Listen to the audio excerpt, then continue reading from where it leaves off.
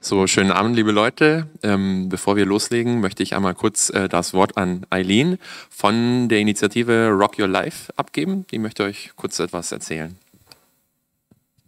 Ja, hallo auch von mir. Schön, dass äh, so viele auch in Präsenz da sind. Auch hallo an alle, die online dabei sind. Ich würde ganz gern kurz unsere Initiative Rock Your Life vorstellen. Es ist eine Initiative, die es hier an der Uni gibt und einmal zur Motivation, wieso es unseren Verein gibt. Wir ähm, setzen uns für Bildungsgerechtigkeit und Chancengleichheit ein. Ähm, hier eine kurze Grafik, die ich ähm, mal auf Social Media, glaube ich, sogar gesehen habe, wie früh unser Bildungsweg festgelegt wird. Ähm, oben im Blau sind einmal die Kinder von Eltern mit Studium und unten in Rot Kinder mit Eltern ohne Studium. Und man sieht hinten raus, wenn es dann ähm, schon zu höheren Bildungsabschlüssen geht, Bachelorstudium, Masterstudium, Promotion, das dünnt sich einfach in der unteren ähm, Reihe weiter aus. Und ja, das finden wir schade und ähm, das war so ein bisschen der Auftakt, ähm, wieso Rocky Life überhaupt gegründet wurde. Gar nicht mit dem Ziel, dass jeder studiert, sondern einfach, dass jeder und jede ein bisschen besser herausfindet, was ist der Weg, den ich gehen möchte und auch den Weg geht, der für ihn oder sie persönlich der beste ist. Das Ganze ähm, lösen wir in einem 1 zu 1 Mentoring-Programm. Heißt, jeder Jugendlicher, jeder, Jugend, äh, jeder Jugendliche, jeder Jugend, jede Jugendliche, die bei uns mitmacht, bekommt für circa ein Jahr einen persönlichen Mentor oder eine Mentorin an die Seite gestellt. Ähm, das ist dann meistens ein Studierender der TU Braunschweig hier. Ähm, und der die Mentor, Mentorin begleitet den Studierenden, äh, den Schüler, den ähm, Jugendlichen für circa ein Jahr. Dabei geht es gar nicht um Hausaufgabenhilfe, beziehungsweise explizit nicht um Hausaufgabenhilfe, sondern um die Betreuung auf dem weiteren Lebensweg, was sich erstmal wie eine wahnsinnig große Aufgabe anhört. Aber tatsächlich, wenn ihr vielleicht selbst Geschwister habt, ist unsere Vision eher, dass wir als MentorInnen ein großer Bruder oder eine große Schwester für einen Jugendlichen sind für eine gewisse Zeit. Das Ganze startet bei uns immer mit einem Matching, heißt, wir machen so ein kleines Speed-Dating mit allen, die Bock haben mitzumachen.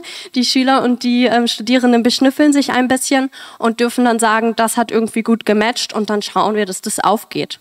Über das Jahr hinweg organisieren wir dann drei Trainings. Das heißt, sind so kleine Workshops, ähm, die Mentor und Ment äh, Mentee zusammen angehen. Da geht es vor allem um den Aufbau und ähm, die Stärkung der Beziehung der Mentees und Mentorinnen untereinander, aber auch der verschiedenen Paare untereinander und auch um die Potenzialentfaltung bzw. Berufsorientierung. Dazu kommen Trainerinnen hier vor Ort vorbei und leiten das Ganze an. Genau, man ähm, sieht auch, dass das Ganze funktioniert. Es wurden zum Beispiel von der IFO, äh, vom IFO-Institut eine Studie durchgeführt. Ich habe ein paar Zahlen da mal rausgegriffen und mitgebracht. 82 Prozent der SchülerInnen, die bei uns mitmachen, wissen hinterher nach diesem Programm, wo ihre Stärken liegen. Auch ähm, drei Viertel der SchülerInnen wissen besser über ihre Möglichkeiten nach der Schule Bescheid. Sei das, ich mache vielleicht noch einen Realschulabschluss oder ich weiß, was für eine Ausbildung ich machen kann. Ich werde nicht Schreiner, weil mein Vater Schreiner ist, sondern ich werde vielleicht Erzieher, weil ich gemerkt habe, ich kann super gut äh, mit Kindern umgehen und gebe gern Sachen weiter. Und auch knapp drei Viertel unserer SchülerInnen glauben später dann auch an sich selber und ihre Fähigkeiten. Und ja, das sind ganz schöne Ergebnisse und dazu oder das bestärkt nochmal unser Programm. Ähm, deswegen, ich würde auch schon zum Ende kommen, noch mal kurz drauf eingehen, ähm, was unsere nächsten Steps sind. Ähm, und auf den letzten Punkt gehe ich jetzt schon mal drauf ein. Wir hatten nämlich ganz lange keinen Raum. Die Räume der Uni sind ja auch rar. Ähm, wir hatten keinen Treffpunkt. Ähm, diesen Sommer hatten wir das Glück, dass ein Kleingartenverein gesagt hat, wir haben eine freie Kleingartenparzelle und wir unterstützen das gerne. Das heißt, für nächsten Sommer haben wir tatsächlich auch einen Treffpunkt für alle Mentorpaare. Genau. Ähm, also bei uns kann man jetzt mitmachen, wenn man Bock hat. Dazu kann man gerne in die WhatsApp-Gruppe eintreten. Damit verpflichtet man sich noch gar nicht teilzunehmen, sondern hat aber schon mal den direkten Kontakt zu uns. Man kann mitmachen, entweder als Mentor, das Ganze ähm, würden wir anlaufen lassen im Januar. Ähm, das heißt, da würde es dann mit einer Vorqualifizierung für alle interessierten MentorInnen losgehen. Das heißt, online werden euch erstmal so ein paar Grundlagen an die Hand gegeben. Wie verhalte ich mich? Was mache ich so? Wie läuft so eine Beziehung ab? Ähm, das wäre eine Möglichkeit. Andere Möglichkeit, wir suchen auch immer Freiwillige, die bei uns im Orga-Team mitwirken, uns ein bisschen helfen bei der Finanzplanung zum Beispiel oder sowas wie hier heute einmal ähm, ja eine kleine Vorstellung machen, mit Marketing arbeiten und und und. Also da gibt's ganz, ganz verschiedene Möglichkeiten. Ähm, ja, screenshottet euch gerne nochmal unsere Folie oder tretet in die WhatsApp-Gruppe ein.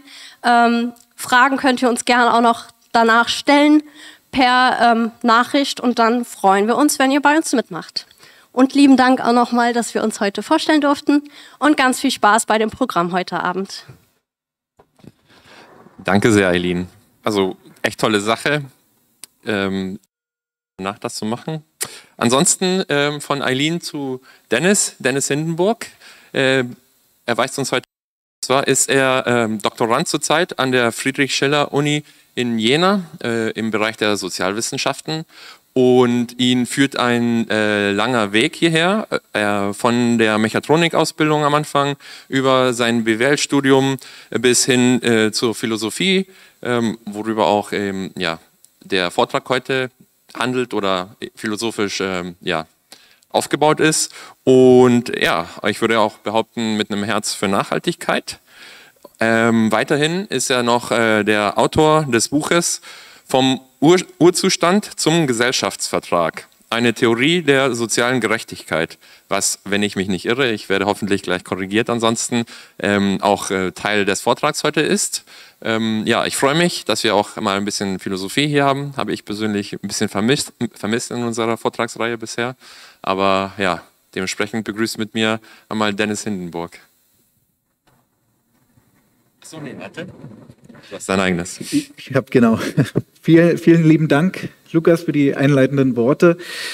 Ja, auch von mir nochmal ein ganz herzliches Willkommen heute hier an alle, die hier vor Ort sind, aber auch an alle, die online dabei sind.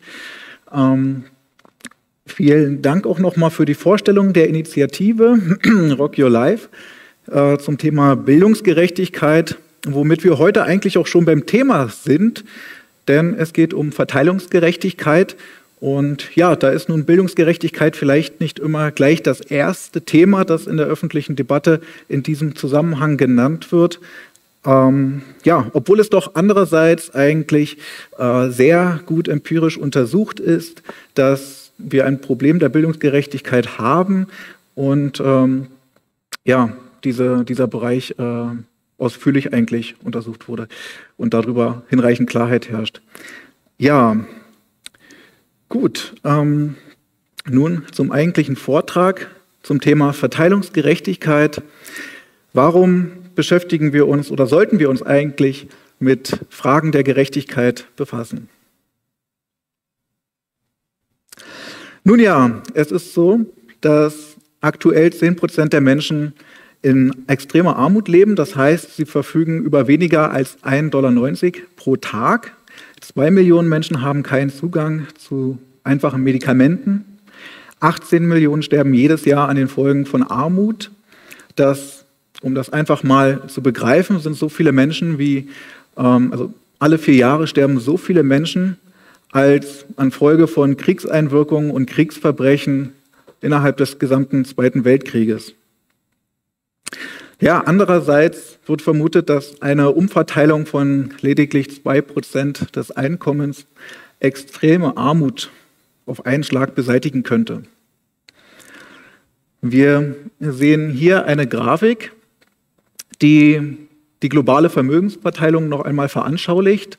Wir haben hier sozusagen das reichste 1% der Weltbevölkerung. Äh, wobei jede Person über eine Million US-Dollar verfügt. Und alleine dieses eine Prozent der Weltbevölkerung verfügt über 43 Prozent des Vermögens, das auf der Welt überhaupt vorhanden ist. Die nächsten 10 Prozent verfügen zusammen über 40, weitere 40 Prozent. Und ja, wir sehen anhand dessen schon, dass hier eine enorme Vermögenskonzentration ähm, bei den obersten 11 Prozent vorhanden ist. Ja, ungefähr die Hälfte der Weltbevölkerung verfügt gerade mal hier über 1,4 Prozent. Wir sehen hier nochmal eine Aufschlüsselung desselben Sachverhalts in Zehntellen der Weltbevölkerung und hier ebenfalls wieder erkennbar mit, äh, rapiden, mit einer rapiden abfallenden Kurve sozusagen die äh, Vermögensverteilung bis hin zum letzten Zehntel, das eigentlich auch nur noch Schulden hat und gar kein Vermögen. Äh, das ist jetzt kein ausschließlich globales Phänomen. Wir beobachten dieses, diese Vermögenskonzentration auch in Deutschland. Und da sehen Sie hier auf der linken Seite eine Grafik, die das in Deutschland veranschaulicht. Nun ist diese nicht ganz so extrem wie im globalen Verhältnis, aber dennoch äh, hinreichend mh, hm, ja, kennzeichnend. Ebenfalls verhält es sich in Vergleichen zwischen den Staaten. Wir sehen hier, dass das Nettovermögen pro Erwachsenen in Zentralafrika am geringsten ist. Und nun ist es so, dass es sich hier nicht nur um eine materielle Ungleichheit handelt.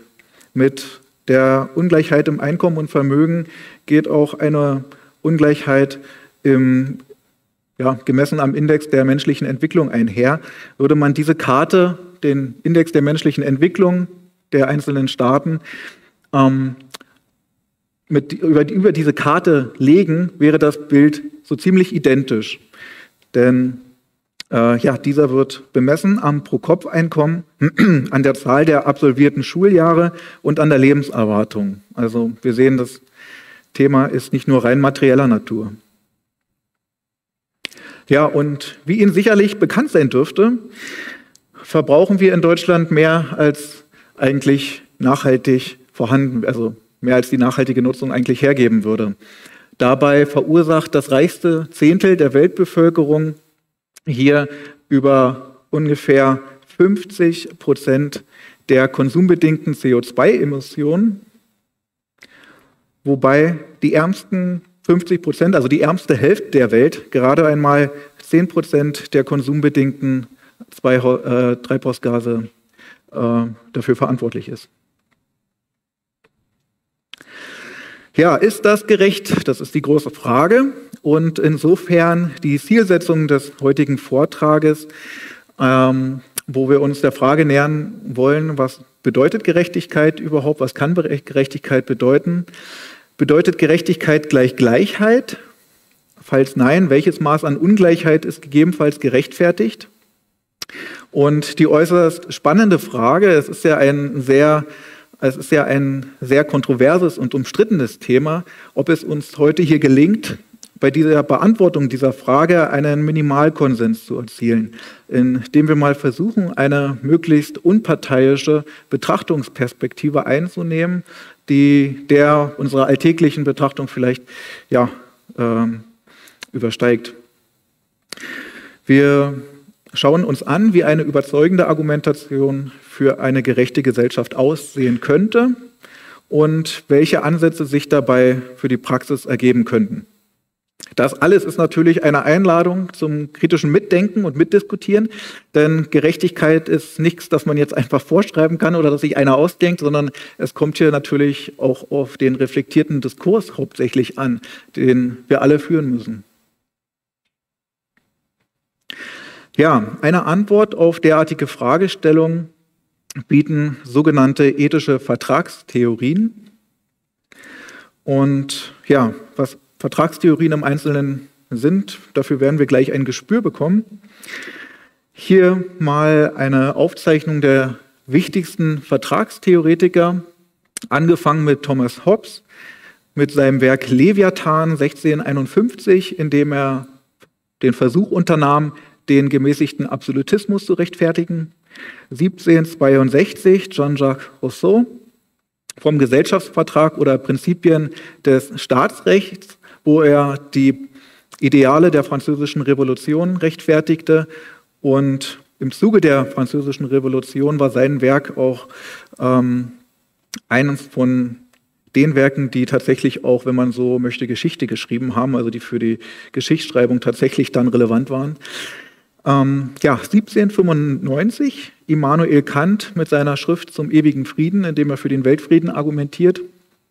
Dann kam lange Zeit nichts. Die politische Philosophie galt, man möchte schon sagen, als eingeschlafen. 200 Jahre später kam dann John Rawls mit einer Theorie der Gerechtigkeit, indem er den Gedanken der Vertragstheorie aufgriff und damit versuchte, Fragen der Verteilungsgerechtigkeit zu beantworten. Seitdem ist wieder einige Zeit ins Land gestrichen und wir haben Fortschritte in den wissenschaftlichen, im Bereich der Wissenschaften gemacht. Wir haben viele wissenschaftliche Erkenntnisse seitdem gemacht in den Bereichen der Psychologie, der Soziologie bis hin zu den Neurowissenschaften, ähm, das letztendlich für mich den Ausschlag gegeben hat, hier einen Neuentwurf zu unternehmen. So, was, wobei ich jetzt erstmal die Ausgangsbasis äh, vorstellen möchte, die auch John Rawls gewählt hat. Ja, was hat John Rawls gesagt? Ähm, er hat den Vorschlag gemacht, wenn wir uns mit Fragen der Gerechtigkeit ähm, äh, äh, ja, auseinandersetzen, dann sollten wir uns doch auf ein Gedankenexperiment einlassen. Er hat vorgeschlagen, dass wir uns mal vorstellen, dass wir uns in einer Art Urzustand befinden. Und in diesem Urzustand befindet sich oder ist noch keine Gesellschaft vorhanden. Also es existieren noch keine Rechte, noch keine Pflichten. Wir kommen jetzt mit unseren Mitmenschen zusammen, um die Regeln zu bestimmen, nach denen wir dann eine Gesellschaft aufbauen wollen, nach denen wir dann leben wollen. Dabei gilt es, Regeln zu bestimmen, nach denen Güter und Lasten verteilt werden sollen. Güter sind dabei vornehmlich alle Mittel, die der Bedürfnisbefriedigung dienen von Ressourcen, Produkte, Dienstleistungen, Rechte und Lasten vornehmlich menschlicher Arbeit, aber auch Einsparungen. Diese Regeln sollen dann generationenübergreifend befolgt werden. Wir sollen also letztendlich nichts anderes machen, als die Spielregeln unseres Zusammenlebens bestimmen. In diesem Urzustand treffen wir diese Vereinbarung dann frei, rational und in einem fairen Diskurs miteinander. Und dieser, ähm, während dieser Verhandlung, die sich dann abspielt, haben wir Zugriff auf das gesamte Wissen der Menschheit. Hintergrund ist dann der, dass, ähm, wenn es uns gelingt, diese Prinzipien herzuleiten, dass man dann, wenn man in einer gerechten Gesellschaft lebt, so die Argumentation, dann seinen Mitmenschen gegenüber rechtfertigen kann, warum leben wir nach den Regeln, wie wir leben, weil wir uns in einem fairen Diskurs auf derartige Regeln einigen hätten können. Ja, dass nun niemand seine Regeln zum eigenen Vorteil bestimmt, so das Gedankenexperiment umgibt uns der Schleier des Nichtswissens. Dieser Schleier raubt uns sämtliche Informationen zu unserer Person. Wir wissen also nicht, welche Größe wir haben, welche Intelligenz, welche Körperkraft äh, äh, wir haben werden. Wir kennen unsere Hautfarbe nicht, unser Geschlecht. All das, all diese Informationen, selbst die Generation, der wir angehören werden, wird uns erst bekannt, wenn wir die Regeln aufgestellt haben, dann erst lüftet sich der Schleier des Nichtwissens. Die Frage ist also, nach welchen Gütern nach welchen Regeln wollen wir Güter verteilt wissen? Nach Gleichverteilung, nach Leistung, nach Bedarf? Um dieses Gedankenexperiment etwas greifbarer zu machen, stellen Sie sich bitte alle vor, dass ich Ihnen hier einen Briefumschlag austeile. Stellen Sie sich bitte vor, die haben Sie jetzt bei sich vor dem Tisch zu liegen. Und in diesem Briefumschlag befindet sich ein fiktiver Steckbrief einer Person mit gewissen Eigenschaften. Und nach der Vorlesung werden wir uns dann darüber austauschen, ob Sie der Ansicht sind, dass diese Person nach den Regeln, die wir aufgestellt haben, ein gutes Leben hätte. Ich bitte Sie daher, während ich Ihnen meine Argumentation ähm, hier zeigen möchte oder vortragen möchte, auch vielleicht für sich selber reflektieren, folgen Sie der Argumentation, wenn nicht, stellen Sie währenddessen ruhig Ihre eigenen Gerechtigkeitsgrundsätze auf. Machen Sie sich Notizen, wo Sie vielleicht abweichen werden. Wir werden uns dann am Ende darüber austauschen. Ähm, Sie werden einen, die Möglichkeit dann haben, mit Ihrem Smartphone einen QR-Code abzurufen, der den zufällig generierten Steckbrief dann äh, zu Ihnen auf das Telefon transportiert. Ja, soweit zum Gedankenexperiment.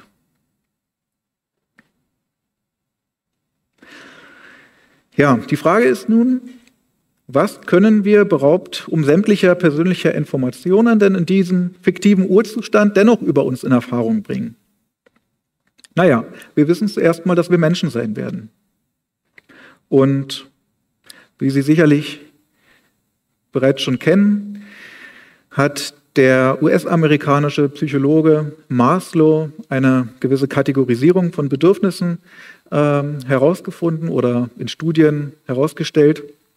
Ich ähm, möchte darauf noch mal kurz noch mal eingehen. Und zwar ähm, hat er gesagt, okay, jeder Mensch, der hat irgendwo physiologische Existenzbedürfnisse nach Hunger, Durst, Schlaf. Dann hat er gewisse Sicherheitsbedürfnisse nach körperlicher Unversehrtheit gewisse soziale Bedürfnisse nach Freundschaft, Liebe, Individualbedürfnisse nach Ansehen, Anerkennung, Freiheit, Selbstvertrauen und das Bedürfnis der Selbstverwirklichung. Und das eigentliche Interessante, was Maslow in seinen zahlreichen Studien in den 60er, 70er Jahren herausgefunden hat, ist, dass diese Kategorien von Bedürfnissen erst in Erscheinung treten, wenn die vorherige Bedürfniskategorie hinreichend erfüllt wurde. Also ja, wie Bertolt Brecht vielleicht mal etwas zugespitzt formuliert hat, erst kommt das Fressen, dann kommt die Moral. Also erst müssen irgendwo gewisse Existenzbedürfnisse befriedigt sein, bevor wir uns hier über Freiheiten und Rechte austauschen. Und ja, nun gibt es gewisse Grundbedürfnisse, die gewisse Grundgüter erfordern, um befriedigt zu werden. Und diese Güter braucht so ziemlich jeder Mensch beispielsweise Luft, Nahrung und Wärme. Ja, im Urzustand wissen wir jetzt nicht, wie viel wir von jedem Grundgut benötigen werden, aber wir wissen, dass wir diese Grundgüter brauchen. Gleichzeitig wissen wir, wir werden nicht unendlich viele von diesen Grundgütern brauchen. Wir werden also beispielsweise nicht 100 Äpfel pro Tag benötigen, um unser Bedürfnis nach Nahrung zu befriedigen. Die einzige vernünftige Konsensentscheidung, die wir nun herbeiführen können, weil es stellt ja nun jeder der Verhandelnden den Anspruch auf die Befriedigung seiner Grundbedürfnisse, ist daher, dass wir zunächst uns erst einmal auf eine bedarfsorientierte Verteilung dieser gewissen Grundgüter einigen. Also Sie merken schon an der Hand der Argumentation, es ist eine Vertragstheorie, ja, das wollte ich nochmal in Erinnerung rufen. Es ist heute eine spezielle, sehr, spezi also sehr spezielle Denkweise der politischen Philosophie, aber die meist rezitierte. Und ähm, von daher, auch wenn es vielleicht zwischendurch mal etwas abstrakt klingen mag, bitte ich Sie darum, sich heute einfach mal darauf einzulassen. Ja, und nun könnten sich die Menschen, so der Vorschlag, im hypothetischen Urzustand darauf einigen, auf den Gerechtigkeitsgrundsatz. Jeder Mensch hat das gleiche Recht auf Grundgüter in dem Umfang, in dem sie zur Befriedigung seiner Grundbedürfnisse erforderlich sind. Ja, aber ab wann ist ein Grundgut nun ein Grundgut? Naja, es muss zunächst erst einmal von existenzieller Bedeutung sein, es muss eine gewisse gesellschaftliche Einigung darüber herrschen und es muss auch in ausreichender Menge vorhanden sein, dass wir es überhaupt nach dem Bedarfsprinzip verteilen können. Und ja, wie wir in der Geschichte sehen, wechselt der Umfang von Grundgütern auch. Denn beispielsweise das Internet war in den 70er Jahren ein knappes Gut. Es war von geringer gesellschaftlicher Relevanz. Es war auch nicht für alle zugänglich, aber das hat eigentlich auch niemanden gestört, denn ja, die Relevanz war äußerst gering. Das änderte sich über die Jahrzehnte hinweg. Das Internet wurde immer relevanter und äh, nicht nur für die Güterproduktion, sondern auch zur Befriedigung von Sozialbedürfnissen. Und ja, so ist es nun, oder wird es mehr und mehr zu einem Grundgut. Das sehen wir daran, dass sich an öffentlichen Plätzen mehr und mehr ähm, kostenlose WLAN-Hotspots äh, entwickeln und mehr und mehr Menschen äh, ungeschränkt äh, Zugriff auf das Internet haben. Ja, wir können also jetzt erstmal nicht sagen, wir wissen ja nicht, welche Generation wir angehören werden, wie umfangreich soll diese Liste aussehen. Und aus diesem Grund stellt man sich die Frage, kann man denn wenigstens Regeln dafür aufstellen, wie ein solcher Umfang an Grundgütern definiert werden soll? Ich habe Ihnen hier mal drei verschiedene Personen mitgebracht, um das einfach besser zu veranschaulichen. Einmal Tim, den Rennfahrer, Karl, den Handwerker und Lara, die Topmanagerin. Tim, der Rennfahrer, ist zwölf Jahre alt. Er liebt es, mit seinen Freunden Schach zu spielen, Seifenkistenrennen zu fahren. Er, ähm, es ist nur der Fall, dass er einen Rollstuhl benötigt, um sich fortbewegen zu können.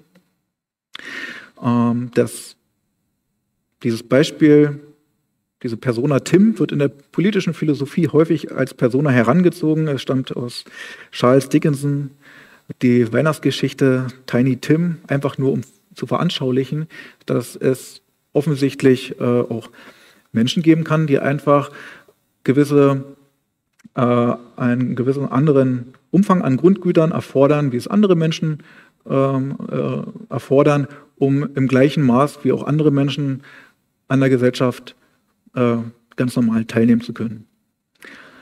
Ja, Karl der Handwerker ist in seinem Beruf äußerst talentiert und macht gerne einmal im Jahr Urlaub mit seiner Familie. Ja, dann haben wir noch Lara, die Topmanagerin, die in ihrem Beruf voll aufgeht und ähm, sich sehr stark für ihr Unternehmen einsetzt, aber sie mag es auch gerne mal Luxusgüter zu konsumieren, sie mag es teure Yachten zu steuern und ja. Nun können wir ja davon ausgehen, dass die Produktionskapazitäten in der zukünftigen Gesellschaft beschränkt sein werden.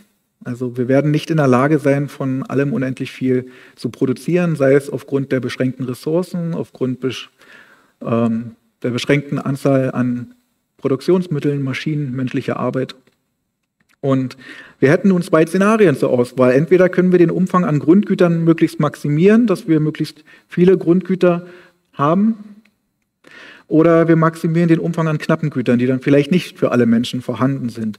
Und anhand dieser hier vorgestellten Nutzentabelle sehen wir schon, dass die verschiedenen Personenprofile, die hier einfach nur beispielhaft mal dargestellt sind, diese verschiedenen Szenarien unterschiedlich bewerten würden. Und beispielsweise könnten wir uns vorstellen, im ersten Szenario wären alle annähernd damit einverstanden, würden das durchschnittlich vielleicht mit einem Nutzen von drei bewerten. Im zweiten Szenario wäre Tim wahrscheinlich nicht so sehr einverstanden damit. Karl würde sich vielleicht auch wie im bereits ersten Szenario irgendwie arrangieren können.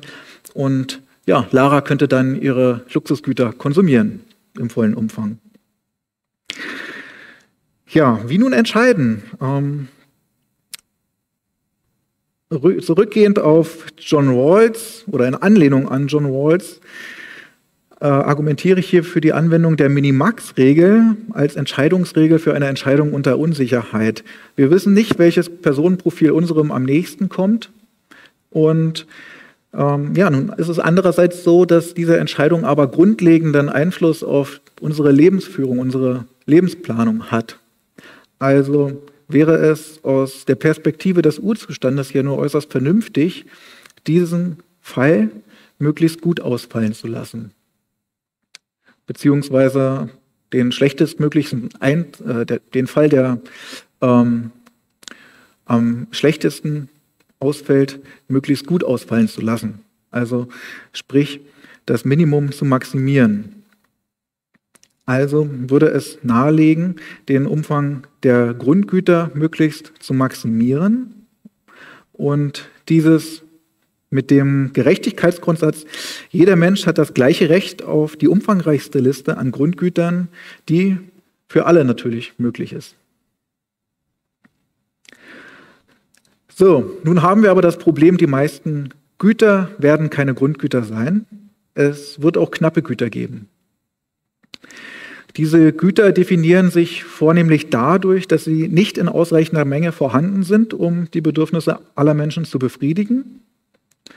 Und aus der Perspektive des Urzustands beansprucht nun jeder der Verhandelnden den gleichen Anteil zunächst erstmal auf diese knappen Güter. Es gibt nun erstmal keine Gründe, warum der eine die andere von dieser Forderung abweichen sollte. Ausgangspunkt der weiteren Betrachtung ist folglich die Forderung, dass jeder Mensch das gleiche Recht auf den gleichen Anteil an knappen Gütern hat. Die Frage, die wir uns jetzt stellen müssen, ist, welche Gründe könnten denn nun vorliegen, von einer Gleichverteilung abzuweichen? Nun ja, man könnte einerseits argumentieren wie John Rawls, ja, also wenn ein gewisses Maß an Chancengleichheit gegeben wäre, bezogen auf den Zugang zu bevorteilten Positionen, dann äh, könnten wir uns von dem Anspruch auf Gleichheit distanzieren. Denn es kann ja dann mehr oder weniger jeder sich um die bevorteilten Positionen, Ämter und Positionen in dem Sinne, ähm, um diese konkurrieren. Chancengleichheit bedeutet in dem Sinne dann Konkurrenz, also ein freies, gleichrangiges Konkurrieren um bevorteilte Positionen. Ja, hier möchte ich aber zwei Einwände machen. Zunächst einmal stellt sich die Frage, ja, wollen wir denn überhaupt ein so starres System mit derart starren Strukturen und Positionen, wie es die Chancengleichheit hier fordert. Denn es ist nicht so, dass es keine Alternativen gäbe. Beispielsweise im antiken Griechenland erfolgte die Vergabe von Ämtern für die Verwaltung bestimmter Stadtbezirke nach dem Losverfahren.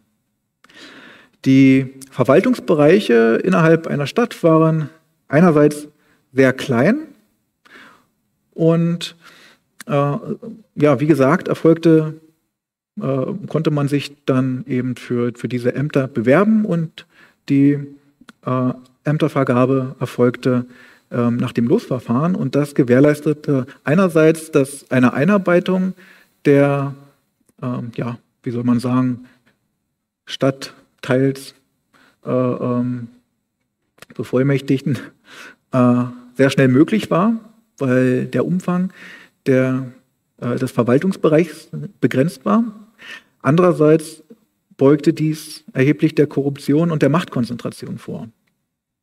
Also wäre ja zu fragen, ob wir hier diese Chancengleichheit tatsächlich äh, für alle Bereiche anstreben müssten oder diese, dieses Konkurrieren, eben diesen Wettkampf um begehrte Positionen. Ja, der zweite Einwand ist die Frage, kann Chancengleichheit überhaupt gelingen? Denn Studien zeigen, die Vergabe von ähm, gewissen Positionen erfolgt zum großen Teil auf Basis von sozialen Beziehungen. Also beispielsweise zeigen Studien, dass 60 Prozent der ähm, Berufspositionen nicht etwa durch formale Bewerbungsverfahren, sondern maßgeblich durch, ähm, wenn man so will, Beziehungen vergeben werden. Also ist unsere soziale Praxis dahingehend überhaupt kompatibel? Und ein ja, gravierender Einwand ist, ob dieses liberale Konstrukt der fairen Chancengleichheit denn überhaupt mit unserer mit unserer Lebenswelt vereinbar ist. Sind wir nicht ständig in einem sozialen Prozess eingebunden, also sowohl aufgrund unserer Erfahrungen als auch unserer biologischen Voraussetzungen? Und es stellt sich die Frage, können wir denn und wollen wir denn überhaupt einen Punkt erreichen, von dem aus dann alle die gleichen Startchancen haben? Hier zur Veranschaulichung mal eine Skulptur, ähm, The Self-Made Man. Wir sehen hier also einen Mann, der sich frei von allen Umwelteinflüssen selbst äh, aus dem Stein formt, seinen Charakter formt, seinen muskulösen Körper hier ausbildet, äh, keinerlei Hilfe von außen benötigt. Und ähm, ja, das soll so ein bisschen veranschaulichen, wie das US-amerikanische Narrativ hier doch wirksam wird, das allerdings sämtlichen soziologischen und psychologischen und jetzt nachweislich eben auch neurowissenschaftlichen Erkenntnissen zuwiderläuft. Also wir sind einfach keine Wesen, die hier äh, voraussetzungsfrei ihre Persönlichkeit ausbilden. Das ähm, mag vielleicht für manche Ansätze der Persönlichkeitsentwicklung durchaus äh, einen gewissen Mehrwert bringen, aber für politische Strukturen sollte dieses Narrativ doch durchaus hinterfragt werden. Und diese, diese ähm, von mir angesprochenen neurowissenschaftlichen Erkenntnisse machen das vielleicht noch mal etwas deutlicher, denn es lässt sich eben auch auf materieller Ebene naturwissenschaftlich nachweisen. So kann man mh, hm, anhand der entsprechenden Untersuchungen eben darlegen, dass alle Denk- und Entscheidungsprozesse letztlich ja physikalische Aktivitäten in unserem Gehirn sind. Und diese physikalischen Aktivitäten passieren natürlich nicht einfach so, sondern sie unterliegen wie alle sämtlichen Naturphänomene dem Ursache-Wirkungsprinzip. Und ja, es ist einfach so, dass vorangegangene physikalische Zustände, wie beispielsweise die Aktivität von Neuronen, dann eben zukünftige mentale Zustände bewirken. In, der, ähm, in dem Bereich der Neurowissenschaften auch als neuronaler Determinismus bezeichnet. Also jetzt mal ganz kurz runtergebrochen bedeutet das einfach nichts anderes, als dass unsere bisherigen Umwelteinflüsse und unsere genetische Veranlagung unsere Entscheidungen bestimmen und unsere Entscheidungen dann wiederum zukünftige Umwelteinflüsse bestimmen, denen wir dann ausgesetzt sind. Es ist hier also die Frage, ob wir nicht ständig in einem ständigen Prozess dieser Einflüsse eingebunden sind, einfach aufgrund der Lebenspraxis, dass dieses Ideal von einem Ausgangszustand, von dem aus alle gleich sind, äh, eigentlich kaum gelingen kann. Daher die Frage, ob es nicht viel wichtiger ist, egalitäre Strukturen zu schaffen.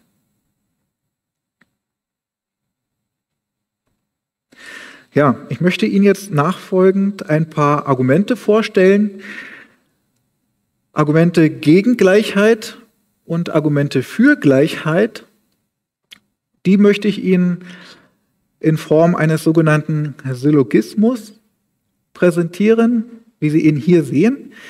Das ist einfach eine Form, wie man ein Argument darstellen kann, die sich in der Philosophie einfach bewährt hat, wenn man sich mit Argumenten auseinandersetzen will.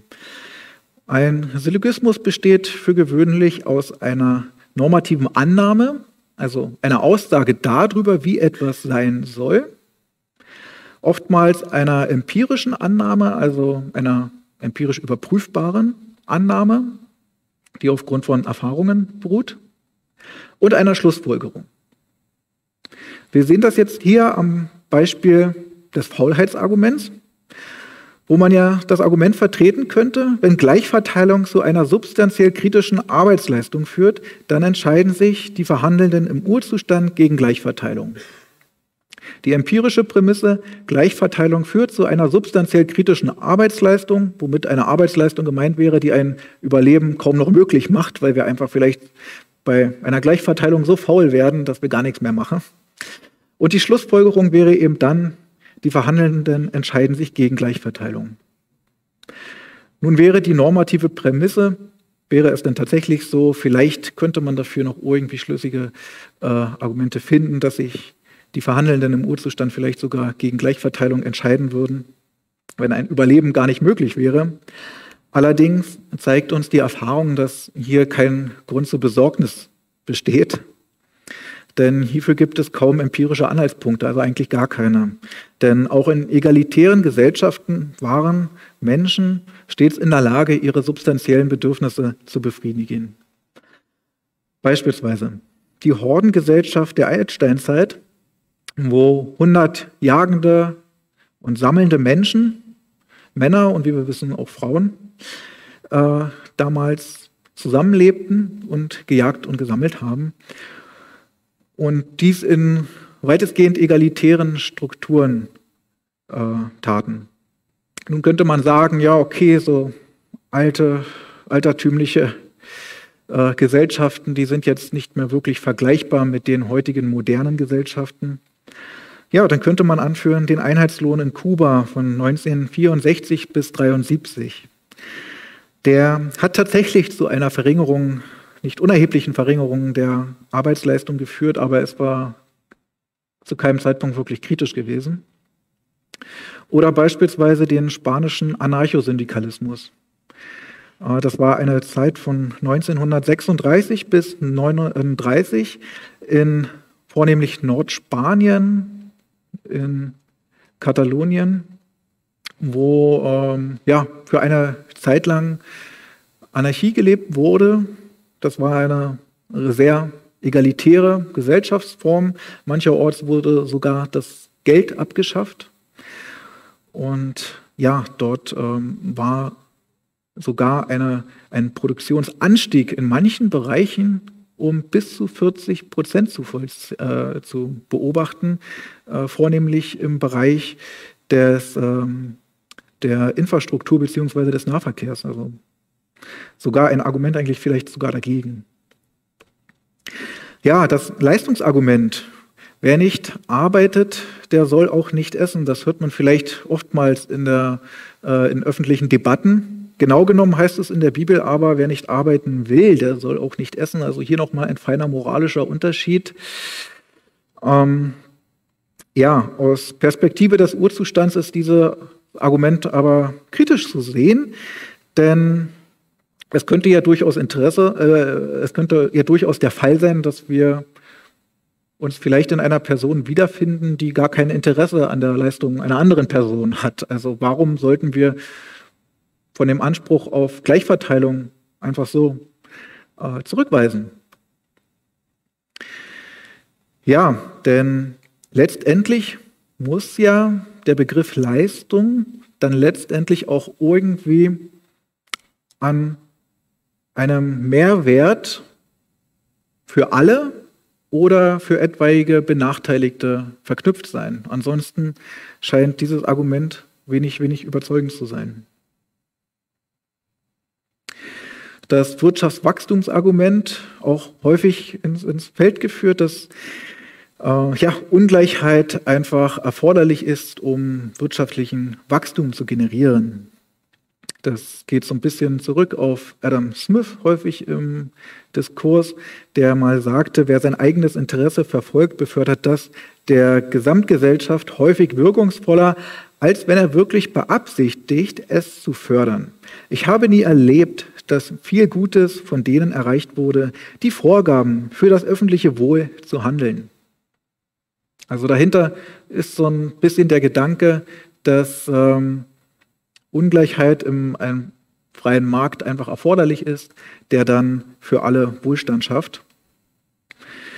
Ähm, ja, hier haben wir beobachtet in der Vergangenheit, dass dieser Trickle-Down-Effekt nicht hinreichend äh, deutlich zu verzichten, äh, zu, äh, zu beobachten ist. Also Trickle-Down-Effekt, damit ist der Effekt gemeint, den ich gerade beschrieben habe, dass äh, irgendwo, wenn es den, wenn man davon ausgeht, dass es durch Marktprozesse den, dem obersten Teil der Bevölkerung besser und besser geht, dieser Wohlstand dann irgendwann zu den unteren Schichten durchsickert und ja, wie Sie alle wissen, ist das natürlich auch aus sozial, äh, sozioökologischer Perspektive fraglich hinsichtlich des Ressourcenverbrauches.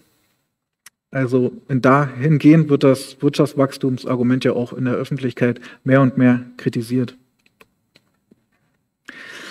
Ja, letztendlich äh, ist hier auch die empirische Prämisse fragwürdig, denn man beobachtet im internationalen Vergleich, dass selbst wenn man Wirtschaftswachstum anstrebt, dass gerade die Staaten ein höheres Wirtschaftswachstum aufweisen, in denen Einkommen und Vermögen gleicher verteilt ist als in anderen. Außerdem hat uns die Geschichte gelehrt, dass der Wohlstand für Schlechtgestellte oftmals auf der Straße einfach auch blutig erkämpft werden musste, wenn wir da an das frühkapitalistische England denken.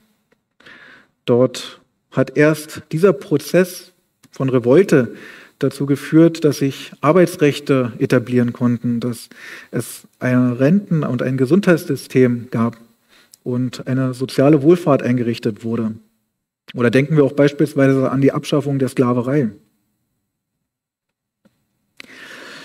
Ja, man könnte auch das Anreizargument ins Feld führen für eine Ungleichverteilung, indem man davon ausgeht, ja, für, um das gewisses Verhalten herbeizuführen, das einfach wünschenswert ist, bedarf es nun mal gewisse Anreize, dann vielleicht auch materieller Natur, die eine gewisse Ungleichverteilung verursachen.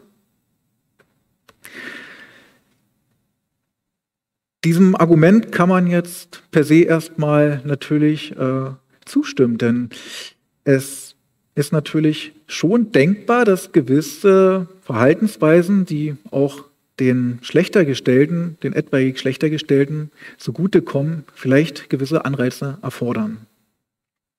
Aber dann auch nur, wenn dann die tatsächlich Benachteiligten davon auch wirklich einen Nutzen haben. Auch die empirische Prämisse ist klar, dass durch Anreize gewisses Verhalten befördert werden kann. Auch negative Anreize in Form von Sanktionen können eben zu, äh, tatsächlich zu einer Verhaltensänderung führen. Aber wir sollten hier eben auch vorsichtig sein, denn es gibt auch gewisse Korrumpierungseffekte, die wir beobachtet haben, dass ursprünglich von selbst heraus ausgeführtes Verhalten, also intrinsisch motiviertes Verhalten, für das dann Anreize in Aussicht gestellt wurden, dass diese Motivation dann nachgelassen hat. Und ähm, ein weiterer spannender Effekt ist die relative Konsumfalle, die beschreibt, dass wenn Ungleichheit größer und größer wird und wir ein marktwirtschaftliches System voraussetzen, dass dann aufgrund der höheren Kaufkraft der Bessergestellten diese mehr und mehr auf die Güterproduktion einwirken, also aufgrund ihrer Nachfrage mehr Einfluss darauf haben, welche Güter überhaupt produziert werden sollten. Und dies kann dann tatsächlich in einer ja, Konsumfalle führen, wo weite Teile der Produktionskapazitäten, der gesellschaftlichen Produktionskapazitäten dafür verschwendet werden, in Anführungsstrichen, für, um Luxusgüter herzustellen. Ja, und letztlich kann das Zeigen von Anerkennung oftmals auch einfach wirkungsvoller für die Motivation sein. Nun zu den Argumenten für Gleichverteilung. Wir haben beobachtet, oder zahlreiche Studien zeigen das, dass in Gesellschaften, wo beispielsweise das Einkommen deutlich gleicher verteilt ist, hier auch eine geringere Kriminalität vorhanden ist. Beispielsweise ist, das Mord, ist die Mordrate geringer, das Risiko, bestohlen zu werden, ist geringer und auch ähm, die Ausgaben für die öffentliche Sicherheit sind geringer. Auch das subjektive Unsicherheitsempfinden ist geringer, also seitens der Bevölkerung, was natürlich auch ein wichtiger Faktor ist. Man möchte sich natürlich auch sicher fühlen dort, wo man lebt. Das schlägt sich mitunter sogar bis auf das Verhalten von Kindern nieder, wo man ein erhöhtes Aggressionspotenzial und eine erhöhte Kampfbereitschaft äh, bei Kindern äh, beobachtet hat.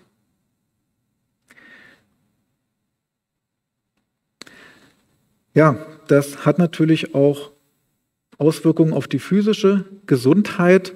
Im Vergleich zwischen verschiedenen Staaten konnte man beobachten, dass zwar in Entwicklungsländern die wirtschaftliche Leistungsfähigkeit gemessen am Nationaleinkommen schon einen sehr starken, äh, eine sehr starke Korrelation mit, dem, mit der äh, Lebenserwartung der Bevölkerung einhergeht, beziehungsweise mit allgemeinen Indikatoren der Gesundheit, ähm, dass in Industrieländern hier aber vornehmlich die Einkommens- und Vermögensgleichheit äh, ein wichtigerer Faktor ist als tatsächlich die Wirtschaftsleistung. Die Theorien, die das erklären oder versuchen zu erklären, die sind recht interessant, muss ich jetzt aber aus Zeitgründen mal überspringen. Hm. Ja, aber nichtsdestotrotz, auch in Entwicklungsländern ist die materielle Gleichheit hier auch eine Variable, die sich dennoch positiv auf diesen Zusammenhang auswirkt. Und das ist jetzt äh, nicht nur ein wesentlicher Faktor im Vergleich zwischen verschiedenen Staaten. Wir sehen das auch beispielsweise innerhalb von Staaten. Also wenn wir hier beispielsweise die Differenz der Lebenserwartung in den USA nehmen zwischen dem reichsten und dem ärmsten 1 Prozent, beträgt diese 14,6 Jahre im Durchschnitt. Ja, mit einer Ungleichheit, äh, materiellen Ungleichheit verbunden, gehen auch einher ein gewisse psychosoziale Komponenten. So befördert materielle, stark ausgeprägte materielle Ungleichheit ein negatives soziales Umfeld, in dem man beobachtet hat, dass Staaten, in denen die Ungleichheit größer ist, dort auch das gegenseitige Vertrauen geringer ausgeprägt ist, die Kooperationsbereitschaft zwischen den Menschen geringer ist die Toleranz tendenziell abnimmt und so auch einfach die gesellschaftliche Kohäsion, also der, der Zusammenhalt, schwindet. ähm, gleichsam gehen damit einher ein höheres Risiko mentaler Krankheiten wie Depressionen, narzisstische Persönlichkeitsstörungen, Drogenkonsum und Statusängste. Und dies auch bei Bessergestellten, also profitieren auch von mehr Gleichheit tatsächlich auch Bessergestellte, indem sie dann eben weniger Angst vor potenziellen Abstieg, also sozialen Abstieg und so folglich auch weniger Stress haben. Entschuldigung. Muss mal einen Schluck nehmen. ja, ähm, zum Autonomieargument auch ganz interessant. Mm, die Autonomie natürlich hier auch ein wesentliches, wesentlicher Faktor einfach für die persönliche Lebensplanung. So zeigt uns beispielsweise die Glücksforschung, dass, dass das Ausmaß an politischer Mitbestimmung hier auch einhergeht mit der Lebenszufriedenheit der Menschen. Also man möchte einfach gerne dort, wo man lebt, auch gerne mitbestimmen und äh, sein, äh, seine politischen Interessen kundtun und auch äh, in, in die ähm, einfließen lassen in, ins Zusammenleben einfach. Und hier zeigen uns erstmals empirische Studien, was ja aus Plausibilitätsgründen eigentlich ohnehin schon recht naheliegend ist, dass Ungleichheit die Autonomie der Schlechtergestellten einschränkt. Ähm, es ist, wie ich bereits sagte, recht plausibel, dass wenn das Maß an Ungleichheit größer und größer wird, bevorteilte Menschen ihren politischen Einfluss leichter durchsetzen können als Benachteiligte, indem sie einfach über mehr Kapital verfügen und hier dann in Form von sei es Parteispenden oder Lobbyarbeit, hier auf das politische Geschehen einwirken können. Das eigentlich Interessante, was ja, wie gesagt, schon naheliegend ist, ist, dass wir jetzt darüber auch empirische Sicherheit haben, dass das tatsächlich auch in äh, freiheitlich eingerichteten Demokratien stattfindet. Also selbst Demokratien sind davor nicht gewahr. Äh, so belegen die Studien äh, hier ganz interessant die Studie von Hole 2018, ähm, die dieses äh, anhand von äh, Jahrzehnten der, ähm, äh, also von Längszeitstudien in den, über, über Jahrzehnte in den USA äh, verfolgt haben. Und das, also diese Tendenz ist auch bereits jetzt schon sichtbar in, in Deutschland. Also darüber gibt es auch die ersten Studien, dass sich die Mitbestimmung der Benachteiligten mit steigender Ungleichheit mehr und mehr verringert. Es ist also sozusagen auch ein äh, demokratiegefährdender, äh, eine demokratiegefährdende Tendenz einfach. Ja, äh, letztendlich mag man noch anführen, dass die Stabilität eines Landes, also die politische Stabilität natürlich auch ein gewisser wichtiger Faktor ist, wenn wir das Thema Verteilungsgerechtigkeit betrachten, denn wir möchten natürlich nicht, dass unsere wohl überlegten Gerechtigkeitsgrundsätze dann äh, ja, politischen Unruhen zum Opfer fallen und dann letztendlich das Recht des Stärkeren vielleicht in Kraft tritt und unsere wohl überlegten Gerechtigkeitsgrundsätze ersetzt. Und äh, auch hier gibt es äh, empirische Belege, gute Belege, also valide Belege dafür, dass mit steigender ökonomischer Ungleichheit das Risiko wächst für politische Umwälzungen. Also sowohl in die Richtung von Demokratien zu Diktaturen als auch von Diktaturen zu Demokratien. Außerdem nehmen politische Unruhen zu und politisch motivierte äh, Gewalttaten. Ja, vielleicht äh, kennen Sie das, das Ultimatumsspiel, das ist ein äh, psychologisches Moralexperiment, äh, das belegt, dass wir vielleicht auch aufgrund unserer Evolution einfach auch eine gewisse Tendenz zur Gleichheit haben.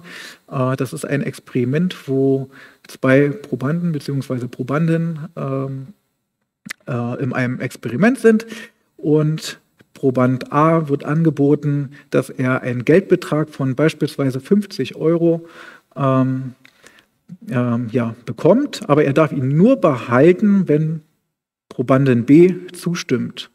Und er muss jetzt Probanden B ein Angebot machen, um, einen gewissen, um ihr einen gewissen Anteil abzugeben, dass sie zustimmt.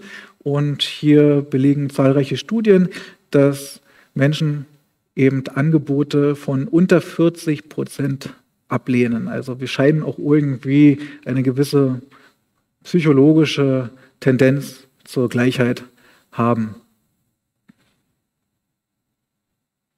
Ja, was ist die Schlussfolgerung nun von, diesen, von diesem Ausschnitt von einigen Argumenten, ähm, die ich jetzt hier sehr verkürzt dargestellt habe? Nun ja, das einzige schlüssige Argument, das hier für oder gegen Gleichheit ins Feld geführt werden kann, ist das Anreizargument. Ähm, wir könnten also sagen,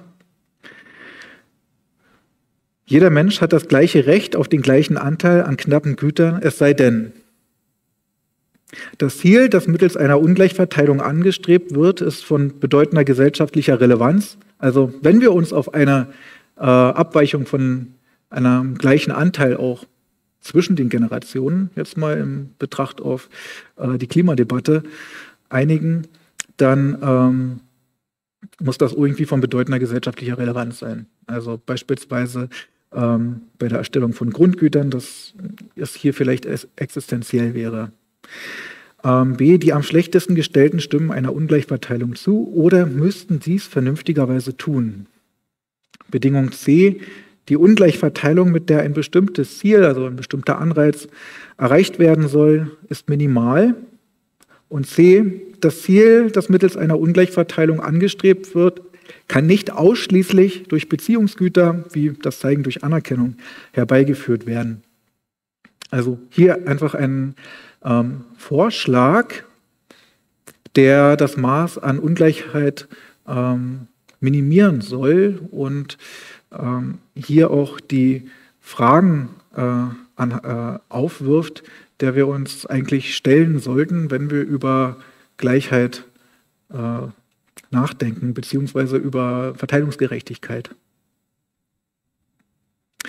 Ja, das wäre jetzt mal der in gekürzter Fassung der von mir vorgeschlagene Gesellschaftsvertrag, anhand dessen man dann die realpolitischen Verhältnisse beurteilen kann. Ähm, ich möchte jetzt zurück auf das eingangs erwähnte Gedankenexperiment kommen und möchte Sie jetzt bitten, noch mal kurz in sich zu gehen. Sie können jetzt noch mal überlegen, ähm, in welchen Punkten Sie vielleicht meiner Argumentation folgen. Wo haben Sie sich vielleicht Notizen gemacht, ähm, die Sie, wo Sie abweichen, wo Sie Ihre eigene Vorstellung von einer gerechten Güterverteilung haben? Gehen Sie noch mal kurz in sich.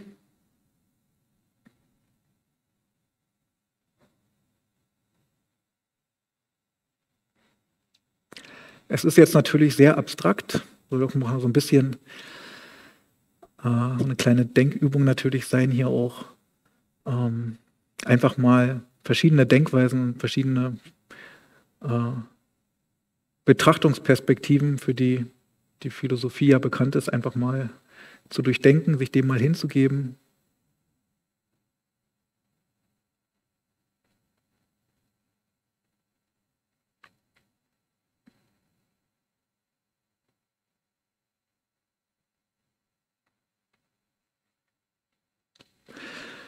Ja, gut. Dann würde ich vorschlagen, lösen wir das Gedankenexperiment auf.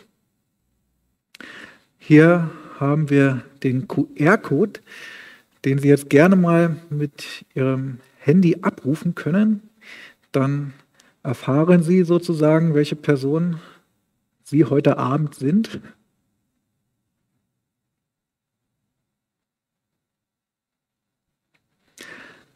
Für alle, die kein Telefon dabei haben, habe ich hier einen Steckbrief mitgebracht. Ich bin Günther, 53 Jahre alt, Mechaniker. Meine Religion ist muslimisch, meine Hautfarbe hell. Ich habe mein Leben lang als Mechaniker gearbeitet. Innerhalb der letzten Jahre bin ich vermehrt mit IT in Berührung gekommen. Ich habe sehr großes Interesse an neuer Technik und den Wunsch gefasst, eine Umschulung zum Netzwerkadministrator zu machen. Ja, und wenn ich jetzt beurteilen sollte, ob diese Person ein gutes Leben führen könnte nach diesen Gerechtigkeitsgrundsätzen, ähm, würde ich sagen, unter der Prämisse, dass Bildung ein Grundgut ist, dass jedem tatsächlich auch äh, materiell zur Verfügung steht, dann würde ich sagen, würde ich dazu tendieren, diese Frage zu bejahen. Äh, ob Bildung tatsächlich ein Grundgut ist, das ist natürlich die Frage in der heutigen Gesellschaft. Zumindest, ja. Ähm, ja. Möchte denn jemand seine Überlegungen, seinen Steckbrief mit uns teilen? Einfach mal. Es gibt ja hier auch kein richtig und falsch, ne? Also, äh, also ich glaube, das ist der gute Punkt äh, zum, wie sagen wir mal, übergehen in die Fragerunde. Ich glaube, das kann man gut kombinieren. Also, genau, gerne. Das könnte ja einmal gerne ähm, Gegenargumente oder, oder Lücken in die Argumentationskette. Ich glaube, da freut äh, sich Herr Hindenburg auch.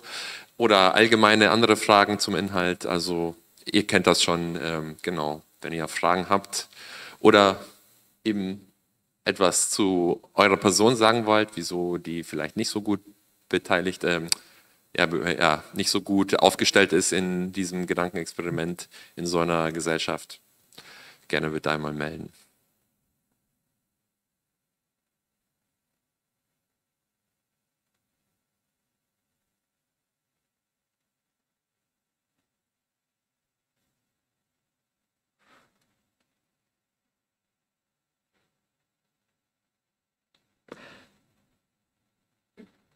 Ja, der Ab Abstraktionsgrad in der politischen Philosophie ist natürlich mitunter doch recht hoch, aber wie gesagt, also nur Mut. Es gibt jetzt hier kein, kein richtig oder falsch. Lassen Sie uns gerne teilhaben an Ihren Gedanken. Einfach, einfach mal. Vielleicht kann ich ja mal einen kleinen Eisbrecher versuchen. Ähm, und zwar zum der Frage zum bedingungslosen Grundeinkommen, da hört, also ich würde mal äh, argumentieren oder behaupten, das ist ja eine, ein Versuch oder ein Ansatz, um ähm, die ja hier argumentierte Gleichheit ähm, herbeizuführen. Und da hört man ja, oder meiner Meinung nach, das beste Argument, was man da hört, was sie dann, also was bei Ihnen auch aufkam, ist das eben der, des Anreizes. Mhm. Ähm, äh, Vielleicht haben Sie das ja irgendwie aus Erfahrung äh, auch mal irgendwie mit jemandem diskutiert. Also wie würden Sie das jemandem, ja, keine Ahnung, wie würden Sie jemandem entgegnen, der sagt, ah, bedingungsloses Grundeinkommen, keine Ahnung, dann, mhm. dann hat ja niemand mehr Lust zu arbeiten oder dann, mhm. ja, was ist dann der Sinn überhaupt? Mhm. Ja, ver ver verstehe den Punkt. Ähm, ja, also gerade das Thema bedingungslose Grundeinkommen wird ja auch in der Postwachstums, in Postwachstumsansätzen mehr und mehr diskutiert, äh, beispielsweise auch unter dem äh, Begriff ökologisches bedingungslose Grundeinkommen. Mm, in der Tat ähm, sehe ich das als einen Lösungsansatz zu mehr Egalität. Ähm, es ist allerdings so, das muss man auch ganz klar sagen, ähm, ich gehe darauf auch im äh, Buch ein, das ich dann auch hier äh, in der Universitätsbibliothek hinterlegen werde. Also wenn Sie da noch mal Interesse dran haben, sich mit weiteren Argumenten auseinanderzusetzen, dazu auch gerne mehr, ähm, ist die ähm, ist der äh, Sachverhalt so, dass hierzu leider noch wenig äh, tatsächlich empirische Studien existieren. Das muss man, muss man so sagen. Äh, allerdings äh, ist es so, es gibt nichtsdestotrotz gibt es empirisches Material, beispielsweise aus Kanada, äh, wo ein gewisses bedingungsloses Grundeinkommen in einer Region schon mal exemplarisch für vier Jahre äh, getestet wurde. Und ähm, man kann zumindest erstmal so viel sagen, es sind keine negativen Folgen aufgetreten. Äh, tendenziell gab es leicht positive Effekte. Ähm, unter anderem, dass sich äh, Schülerinnen und Schüler etwas mehr dazu entschieden haben, die Schule länger zu besuchen, also das Abitur zu machen. Die Anzahl der Ab äh, Absolventinnen des äh, Abiturs hat äh, leicht zugenommen und ein paar ähm, ähm, schwangere Frauen und Mütter sind tendenziell etwas länger zu Hause geblieben. Äh, das war das, was man dem den, den Studien entnehmen konnte, aber diese äh, negativen Effekte, die oftmals ins, ins, Feld geführt werden, dass dann eben niemand mehr Lust hat äh, äh, zu arbeiten, die sind eigentlich ausgefallen. Also äh, von der ähm, Warte her, da gehen ja auch viele ähm, Postwachstumsansätze äh, äh, ähm, hin, dass man sagt, naja, wie wir im vorangegangenen Vortrag auch gehört haben, es geht darum, dass wir CO2 im Boden lassen. Ja, und das heißt letztendlich, dass wir weniger konsumieren.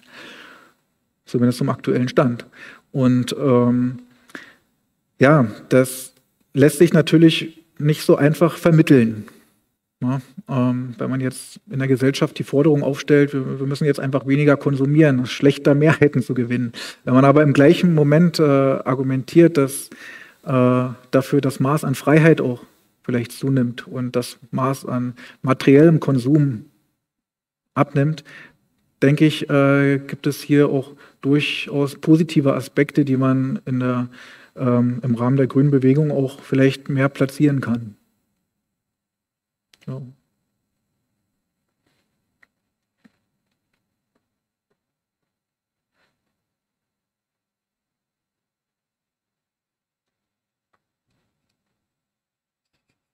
Ja, vielen Dank für Ihren Vortrag. Sie haben viele Aspekte angesprochen, die einen trefflich nachdenken lassen. Und äh, für mich als völlig Außenstehender in dieser, äh, ja, in dieser Richtung ist es auch alles schon sehr abstrakt. Äh, ich mhm. bin jetzt schon ein etwas älterer Mensch und äh, im Laufe meines Lebens habe ich immer gelernt, auf Beispiele zu schauen, auf Praxisbeispiele, auch sehr gerne in die Geschichte zu schauen. Ja, und ein Aspekt ist jetzt, ähm, Vielleicht einfach mal eine Frage, wenn wir uns jetzt umschauen im Jetztzustand und real existierende mhm. Gesellschaften anschauen, äh, gibt es, wo man sagen kann, ja, das ist ein, ein, ein Muster für eine Entwicklung, die mir total vorteilhaft erscheint, erscheint und wo wir den Eindruck haben, die ist stabil und die könnte sich ausbreiten. Äh, ich werde noch einige andere Fragen haben, aber damit es nicht zu komplex wird, mhm. vielleicht mal diese erste. Ja, vielen, vielen Dank erstmal für die Frage. Ähm, ja, ähm, nun ja, die, äh, aus dem, also es gibt natürlich verschiedene Perspektiven, die man hier betrachten kann. Also wenn wir jetzt mal die soziale Gerechtigkeit äh, betrachten hinsichtlich der Verteilungsgerechtigkeit, dann erscheinen mir die skandinavischen Länder das ein Stück weit besser zu machen als wir.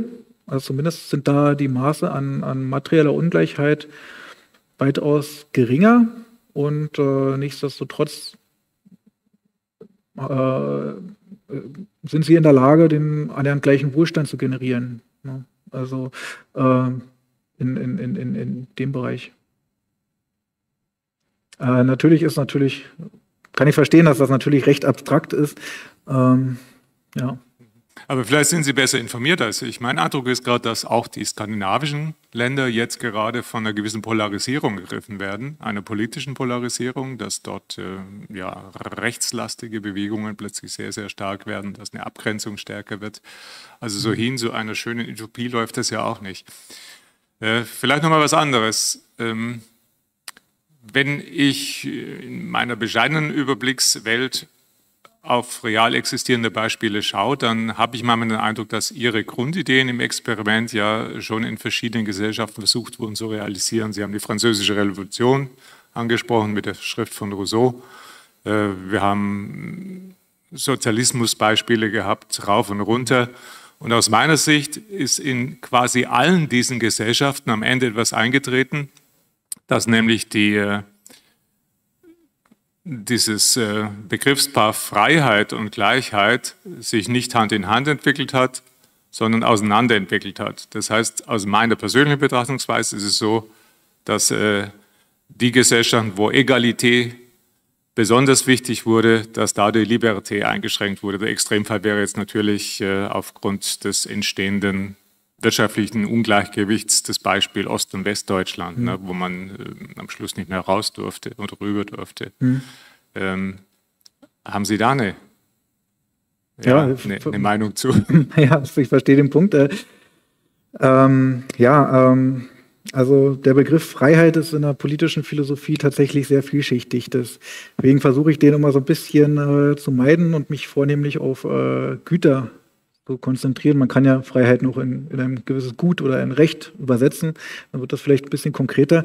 Ähm, ja, auf jeden Fall. Äh, ich meine, wenn man die Gerechtigkeitsgrundsätze jetzt mal hernimmt, dann äh, und diese mit real existierenden politischen Systemen vergleicht, dann äh, erscheint mir der Grundgedanke einer sozialen Marktwirtschaft jetzt erstmal per se nicht abwegig, aber ähm, wir sehen ja jetzt gerade anhand der ähm, Nachhaltigkeitskrise, dass es hier noch feinere Steuerungsmechanismen bedarf, wie beispielsweise eine CO2, ähm, starke CO2-Besteuerung, wenn wir die Klimaziele erreichen wollen. Also ich denke, wir, wir haben hier schon äh, Potenzial. Wir sind jetzt nicht nicht schlecht aufgestellt prinzipiell, aber ähm, vielleicht auch nochmal um Praxis, äh, äh, um auf die Praxis zurückzukommen, wie man da vielleicht auch hinkommen kann, ist äh, ein Punkt, den ich heute vielleicht noch mal anbringen möchte, ist ähm,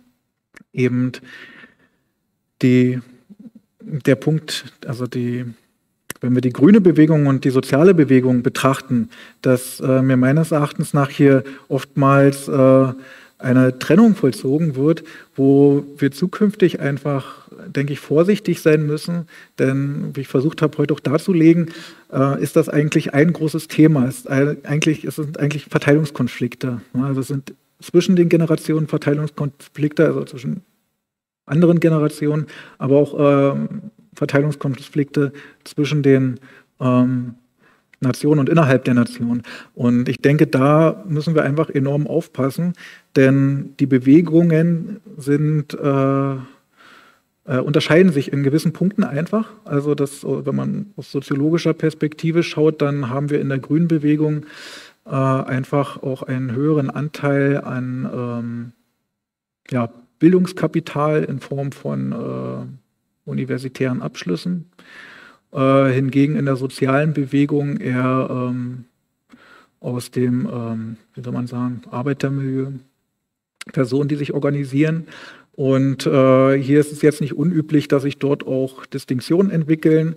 Ähm, wir sehen das beispielsweise bei der Besetzung von Braunkohlekraftwerken. Ja, also es klar eine Aktion des zivilen Ungehorsams, die, äh, die ich jetzt per se nicht schlecht reden will, aber ähm, das hat natürlich auch Folgen für die Menschen, die dort beschäftigt sind. Und wir haben beobachtet, dass äh, das dazu führt, dass die Menschen sich äh, von der grünen Bewegung nicht mitgenommen fühlen und ähm, einfach Angst um ihre Existenz, um ihren Arbeitsplatz haben, die weniger mobil sind ähm, und äh, letztendlich sich mehr zur Seite des Managements hin bewegen und eine konservative Haltung einnehmen. Also es ist uns in der Hinsicht nicht gelungen, die Menschen irgendwie mitzunehmen. Ganz anderes Beispiel hat man in äh, Stuttgart.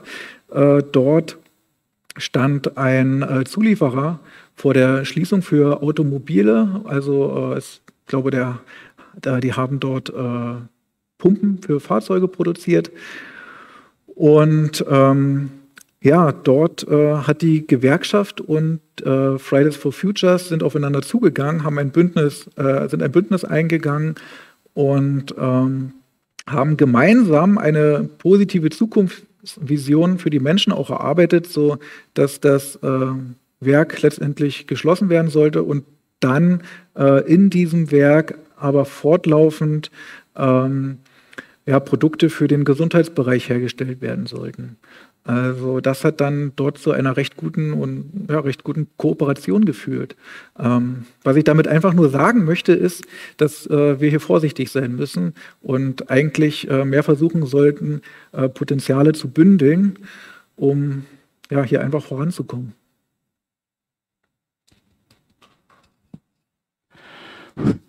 Grundsätzlich möchte ich es ja begrüßen, dass Sie die Frage der sozialen Gleichheit äh, überhaupt ansprechen oder angesprochen haben. Aber wenn ich mir dann anschaue, äh, was Sie einfach mal so ausgelassen haben, äh, aus meiner Sicht die wichtigsten Sachen, nämlich wie denn diese krassen, un ungleichen sozialen Verhältnisse zustande kommen, also die entscheidenden Stichworte Herrschaft, Macht und Ausbeutung, insbesondere Ausbeutung, haben Sie vollkommen äh, gar nicht erwähnt. Das heißt, wenn also 20 Prozent der Menschheit heute 80 Prozent der Ressourcen verbrauchen und auch da noch ziemlich äh, ungleich verteilt, dann ist klar, dass sozusagen äh, in, den, äh, in der Peripherie des kapitalistischen Weltsystems die 18 Millionen Menschen, die da verhungern jährlich, und das sind auch noch mehr, wenn man die Kriegstoten und so weiter da mitrechnet, also kenne auch weitaus höhere Zahlen, äh, dann zeigt mir das, dass dieses, äh, was hier als soziale Marktwirtschaft äh, bezeichnet wird, also eine Verschleierung der globalen Ausbeutungsverhältnisse einfach darstellt. Und wir haben uns ein Wirtschaftssystem geleistet, global gesehen, was konkurrierend ist, jeder Staat und jedes Kapital gegeneinander und der Wachstumszwang ist auch noch da. Der Wachstumszwang wird herbeigeführt durch das äh, Prinzip der Profitmaximierung. Und sozusagen, es geht aber jetzt einfach darum, ich habe also 1976 ein Buch gelesen, haben ein Bestseller, ein Planet wird geplündert. Ehemaliger CDU-Bundestagsabgeordneter, der später mal die Grünen mitgegründet hat, ebenso wie ich. Ähm, und dass äh, ein Planet wird geplündert, gilt immer noch. Wir wissen, dass äh, der Planet also ausgebeutet und zerstört wird. Aber die Frage, wer das denn macht, die Konzerne, die Macht der Konzerne zu brechen, das und der Banken natürlich, das wollen wir natürlich nicht. Wir lügen uns in die eigene Tasche und meinen, ja, wir müssen schon so ein bisschen äh, die Fassade begrünen und so weiter, dann wird das schon alles gut werden. Wir belügen uns selber. Und äh, die Grünen, als ich dann nochmal Mitglied war, ich bin 1999 ausgetreten, als die Grüne Partei den Jugoslawienkrieg äh, mit zugestimmt hat. Heute ist sie die schlimmste Kriegspartei hier in diesem Lande. Hetzt, äh, also ich bin kein Freund von Putin, aber das ist eine andere Geschichte jetzt. Also die Grünen hatten mal formuliert, eine äh, Grundlage einer demokratischen Wirtschaft äh, Quatsch, Grundlage einer demokratischen Gesellschaft muss eine demokratische Wirtschaft sein. Und das hatten wir noch nie. Das hatte der Realsozialismus, also der Sozialismus mal angestrebt. Aber unter dem Realsozialismus ist der Stalinismus bei rausgekommen und das war dann eben eine Diktatur über das Proletariat statt des Proletariats, also statt einer Rätedemokratie. Was wir halt brauchen oder bräuchten, wäre eine wirklich demokratische Gesellschaft, die auch die Wirtschaft demokratisiert. Und das geht natürlich nicht, ohne die Macht der Banken und Konzerne zu brechen. Und wenn wir das nicht schaffen, wird sich die Menschheit selber zerstören. Das ist leider so. Ja, vielen Dank erstmal für den, für den äh, kritischen Einwand hier an der Stelle. Ähm, dass, ja, ich habe jetzt da viel marxistische Kritik rausgehört, wenn man so will, äh, vollkommen berechtigt, äh, gehe ich auch mit. Ähm, möchte hier nochmal unterscheiden, also das ist jetzt wirklich eine ethische äh, Betrachtungsweise.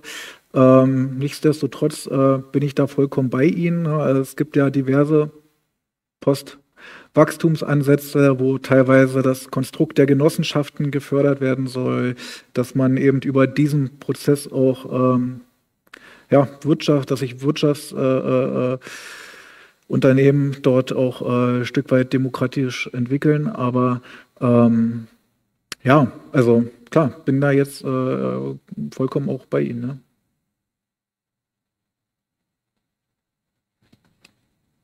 Die Frage ist bloß, ähm, ja, marxistische Kritik, die zielt auch oftmals auf äh, Revolution letztendlich ab. Und ich sehe, ja, ich weiß, ich,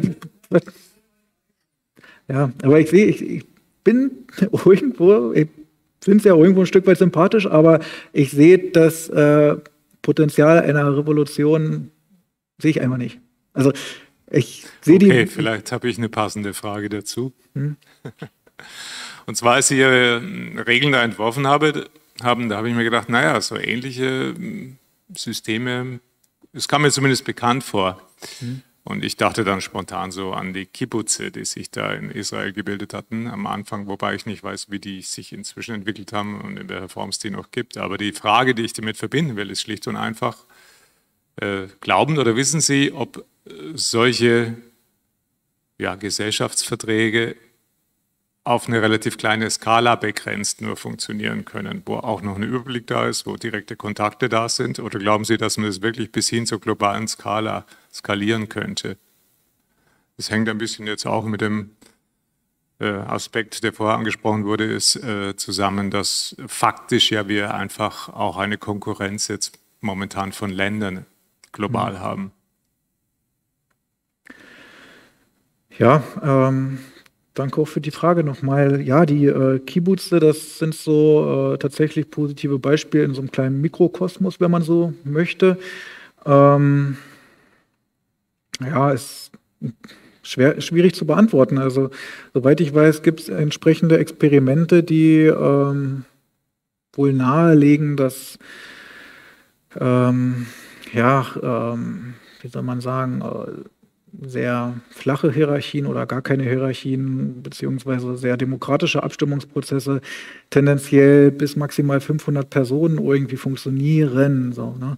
äh, andererseits hat es in der Vergangenheit eben doch über mehrere Jahre den spanischen Anarchismus gegeben, äh, wo sich die Menschen auch organisiert haben, ohne weitestgehend ohne Herrschaftsverhältnisse. Ähm, das ist nochmal tatsächlich ein spannendes Experiment aus der Geschichte, wobei ähm, der Anarchismus ja dann durch die, durch die Faschisten dann eben äh, zugrunde gerichtet wurde. Ähm, ja, man denkt immer jetzt, wenn man das Wort Anarchismus hört, da ist jetzt hier äh, Mord und Totschlag, aber ja, also die Menschen haben da offensichtlich doch recht friedlich miteinander gelebt und wenn man so manche Interviews von manchen Menschen hört, die dort äh, gelebt haben, dann äh, klingen die sehr zufrieden und äh, ja, ähm, interessant, kleine Randnotiz, äh, George Orwell, weiß nicht, äh, die Farm der Tiere hat er geschrieben. Ähm, der hat auch einen ganz interessanten äh, Bericht zu seiner Zeit im Anarchismus. Also er war äh, zu dieser Zeit in Spanien gewesen und hat da auch einen ganz interessanten biografischen Bericht zu verfasst. Er hat tatsächlich auch an der ähm, anarchistischen Front gekämpft, was man oftmals gar nicht so weiß. Also, ja.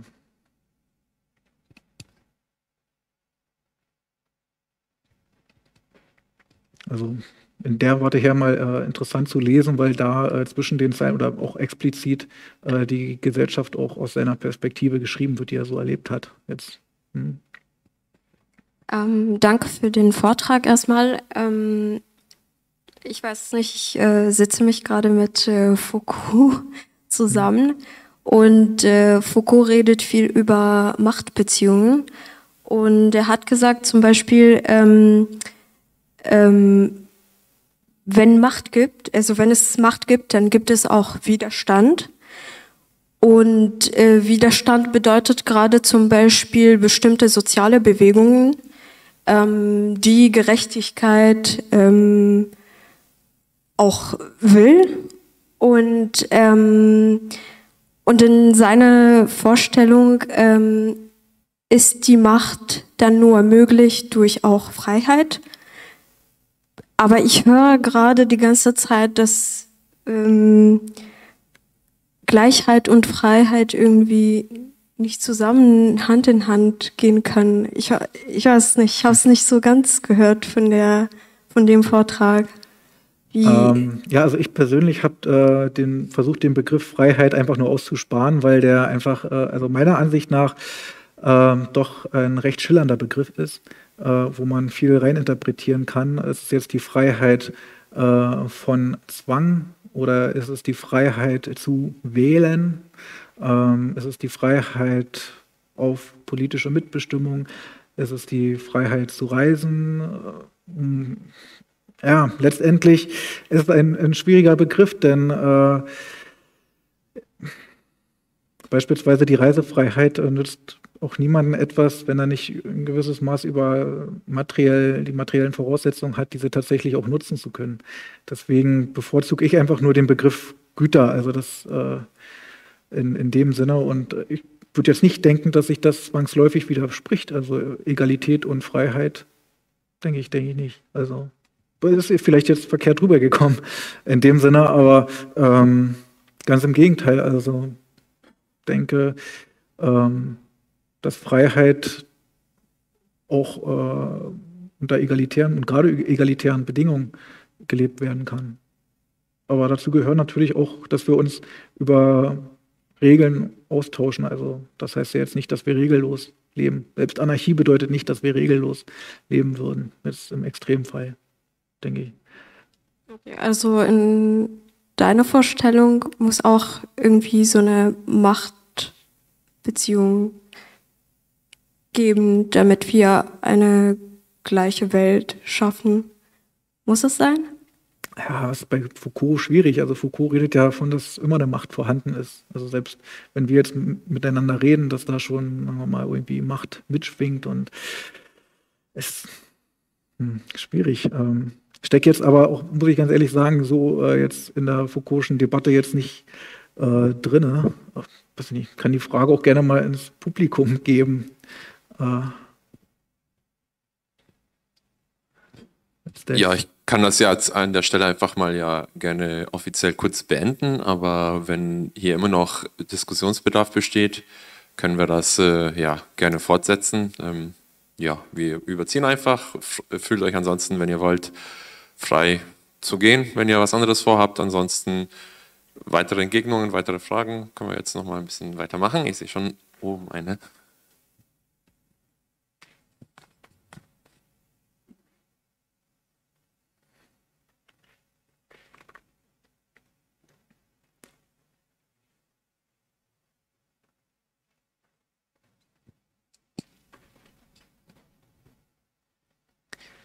Ja, also wenn man jetzt Ihren Gesellschaftsvertrag betrachtet, sollen ja dann alle Grundgüter sollen ja quasi perfekt oder gleich verteilt sein. Und dann aber bei, also ich habe jetzt nicht ganz verstanden, bei knappen Gütern, jetzt als Beispiel Bildung, äh, wie soll man das dann quasi möglichst gleich verteilen? Also man, man kann ja nicht zum Beispiel jedem einen halben Abschluss geben oder mhm. sowas. Ähm, ja, äh, das kam vielleicht äh, an der Stelle etwas verkürzt drüber. Ähm, also Grundgüter würde ich davon ausgehen, dass man die bedarfsgerecht verteilt, also nicht gleich, weil ähm, da haben wir jetzt vielleicht nicht immer den, den, den äh, brauchen einfach nicht immer die gleiche Anzahl von einem gewissen Gut, um unsere Grundbedürfnisse zu befriedigen. Ähm, und äh, für knappe Güter würde ich tendenziell äh, zur Gleichverteilung tendieren. Also maßgeblich stellt sich ja die Frage heutzutage äh, in, unserer Gesellschaft ähm, der materiellen Gleichverteilung in Form von Einkommen und Vermögen. Und ähm, wir sagen zwar gerne, dass Bildung ein Grundgut ist, ne, aber ich sehe das eher kritisch. Also könnte man sich ja fragen, warum gibt es überhaupt noch, äh, warum muss man teilweise für Bildung bezahlen? Äh, warum ähm, bekommen Studierende nicht äh, prinzipiell ein Stipendium oder ein kleines Gehalt? Meine, die positiven Effekte, die Bildung mit sich bringt auf die Gesamtbevölkerung, die sind ja hinlängst bekannt. Also eigentlich hat das nur Vorteile, wenn wir uns alle bilden. Äh, ja. Ja, aber ich, also ich meinte ja genau, dass Bildung halt, das, es kann halt nicht, also wenn, wenn es knapp ist, also was ja. es ja ist, dann, also ist es halt nicht teilbar. Also man kann nur einer Person quasi dann eine volle Ausbildung geben oder halt nicht. Also ich weiß nicht, ob das ganz rübergekommen ist jetzt, was ich gemeint habe, aber Ja, da muss man irgendwie Wege finden, dass man es äh, schafft, irgendwie Menschen irgendwie gleichermaßen zu beteiligen, wenn Bildung wirklich so knapp ist, dass wir nicht ausreichend Bildung für alle Menschen zur Verfügung haben. Ne? Aber äh, ich sehe eher das Potenzial dahin, dass wir uns bewegen, dass Bildung tatsächlich ein Grundgut wird und der Bildungssektor nicht äh, äh, äh ja, einfach unterfinanziert wird, auch teilweise. Ne? Also äh, da sehe ich eher das Potenzial. Und äh, wenn es dann tatsächlich so ist, dann äh, das jetzt wie in, in Ihrem Fall jetzt dargeschildert, dann sind das vielleicht auch keine gerechten Verhältnisse. Ne? Also da, dahin sollen ja die Fragen dann zielen, uns das zur Reflexion anzuregen und äh, dass wir gemeinsam herausfinden, ja, wo sind jetzt hier eigentlich die kritischen Punkte? Also, hm. also ich meine, zum Beispiel nicht jeder kann, also noch vor seinem Ingenieurstudium noch mal ein Philosophiestudium machen oder sowas. Ähm, aber vielleicht möchten das ja ganz viele. Aber wie würde man dann dieses, also ja, wie man das würde, verteilen würde? Also klar, ich, mehr Bildung und so, bla bla, finden wir alle gut, aber ja.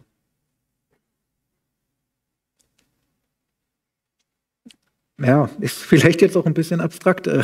Ach, ja. ähm, hm also so wie ich das jetzt rausgehört habe, würden Sie ja sagen, würden Sie es einfach über eine gleichere also Einkommensverteilung machen oder einfach nur über die Leistung oder also welches Kriterium ziehen wir denn heran? Also oder der Bedarf, keine Ahnung, wir brauchen so und so viele Ingenieure, also und so und so viele Philosophen. Ja, äh, ja ich weiß nicht, ich glaube, das Problem ist, äh, dass wir denken, dass wir, dass Bildung ein, ein knappes Gut ist. Also glaube, also wenn wir jetzt mal in die Zukunft gucken, dann könnten wir uns das durchaus leisten mit beispielsweise einem bedingungslosen Grundeinkommen, dass äh, ja, alle Menschen studieren können.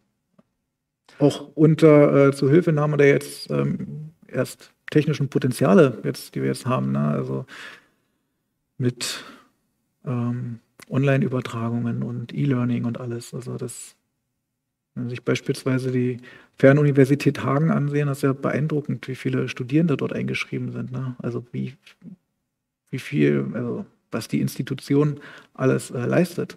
Also ich glaube, wir könnten das als Gesellschaft schon und bräuchten Bildung jetzt nicht als Ware handeln, als knappes Gut.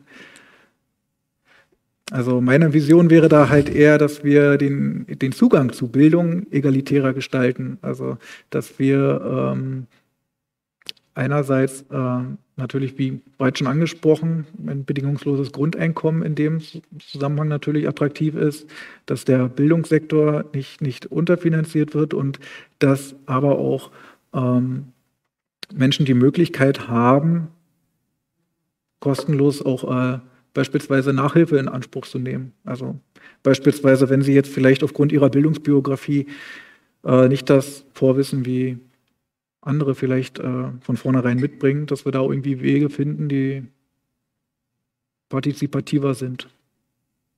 Gut, also ich meine, das, also meiner Meinung nach weicht das der Frage einfach nur ein wenig aus, weil ja, klar, man kann halt, das würde ja dann einfach nur die äh, Versorgung an Bildung erhöhen und dann ist es halt weniger knapp und dann können es mehr Leute quasi genießen. Äh, aber das ändert jetzt nicht an Verteilung. Ein anderes Beispiel wäre vielleicht einfach nur Reisen. Äh, sagen wir mal, wir haben die Kapazität, dass 50 Prozent der Leute halt einen Urlaub machen können. Dann, wie würde man das verteilen? Jetzt Ja, da, also man kann ja nicht halben Urlaub machen. Ja, na, dann muss man das, also da stellt sich jetzt aus der Nachhaltigkeitsperspektive eben beim Thema Reisen die Frage des CO2-Ausstoßes. Ne? Und aus der egalitären Perspektive des Gesellschaftsvertrages wäre dahin zu argumentieren, dass man erstmal von einer Gleichverteilung ausgeht, also auch global gesehen. Und ja, wenn man dann eben nur einen halben Urlaub machen kann, dann kann man scheinbar keinen Urlaub machen. Also, was soll ich dazu jetzt sagen? Ne? Es, manche Sachen funktionieren dann halt auch vielleicht einfach nicht. Also, die sind dann eben nicht ausreichend vorhanden. Okay, ich kann dazu nichts mehr sagen.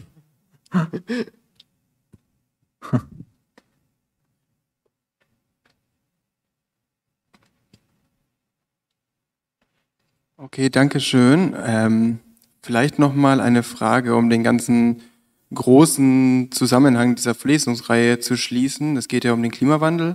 Und am Anfang in Ihrer Einleitung haben Sie ja schön herausgearbeitet, dass, ich glaube, 10 Prozent der reichsten Menschen 50 Prozent des CO2-Ausstiegs, äh, Ausstoßes verursachen. Ja?